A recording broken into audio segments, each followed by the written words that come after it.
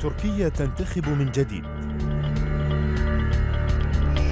في أجواء يسودها التوتر السياسي والأمني فهل يفشل إردوغان مرة أخرى في الحصول على أغلبية لحزبه؟ أم تسعفه ملفات الأكراد وسوريا وداعش؟ تابعوا تغطيتنا من أنقرة واسطنبول وديار بكر هذه جرح سكاي عربية ديار بكر